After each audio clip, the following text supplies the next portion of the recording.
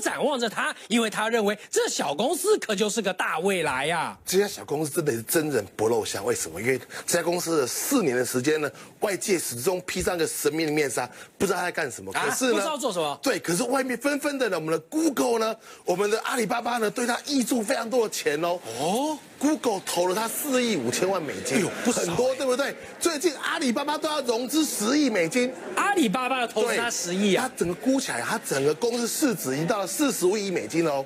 这样子的一个非常伟大的小公司，他这四年来他到底做什么？他掌握什么样的科技，让这些大厂呢纷纷扒着他？而且因为要大老板拿出这么多钱是不容易的，没有错。而且呢，Microsoft 呢还把他的就是 Hololens 呢跟他的这个呢 Magic Leap 这两个当做是他最大最大的劲敌。为什么？他都知道 Microsoft 他花了很多钱去做他的那个这个 Hololens 就眼镜虚拟实境，对不对？但没有错。画面。那这一家他们做的也是虚拟实境，而且他看他做的非常非常的这这逼真到，你看篮球场上一个大金鱼跳出来，怎么会这样场景呢？对，这样的场景会让你看到说哇，真的，我希望一只鲨鱼出现。啊，真的鲨鱼就出现在上面没有错，就是说，比如说，我觉得说啊，这边我想要一只鲨鱼，这边一只鲨鱼，我这边要是大象，就一只大象。